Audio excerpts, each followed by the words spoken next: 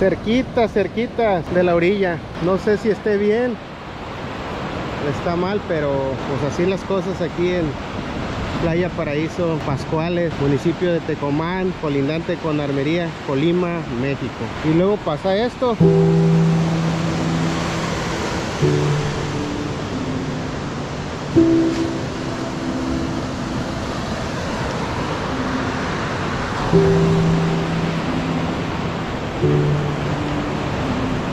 Pues así las cosas.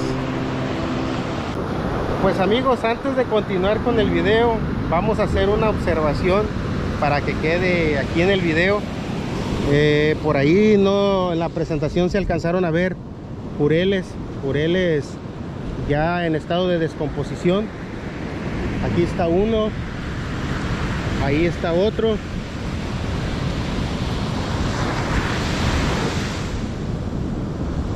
Más allá está otro.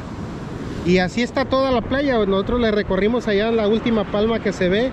Y estamos hablando de que vimos casi el centenar de jureles en descomposición. Nos llamó la atención que quizás con el paso del huracán John eh, había dejado este tipo de estragos. Pero cuando vemos los jureles que traen marcas, son marcas de trasmayo. Aquí está una marca.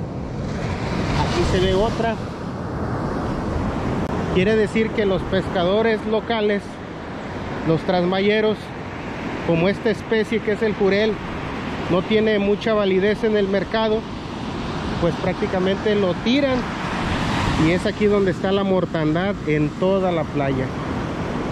Vean, aquí se ven las muestras del, del trasmayo, que desafortunadamente eh, nos quejamos día a día que hay menos pesca cuando venimos a pescar. Ya quisiéramos que un animalito de esos nos salve el día. Si venimos, ahí es cierto, venimos por otro tipo de especies, pero ya al último queremos que se nos pegue un jurel para sentir esa adrenalina que se siente cuando pescamos. Y la verdad es de que pues es una tristeza, de alguna manera, no sé por qué no se los llevan, no sé si, no sé si a lo mejor las malas prácticas de pesca eh, hacen que prácticamente suceda esto. Vean, ahorita nos estamos arrimando. Y así está en todo, toda la playa desde, desde el paraíso hasta la puntilla, como se le conoce, o Pascuales. Vean, aquí se ve claramente la raya del, del trasmayo.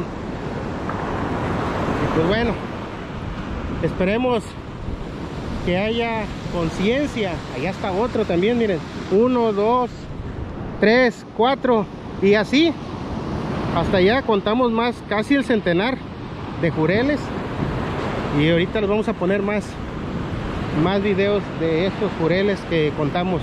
Pues ojalá, ojalá que se terminen estas malas prácticas y que por el bien común, por el bien común, siga habiendo pesca. Nos, cada día nos quejamos de que hay este, menos pesca, pero así, pues, pues no se vale.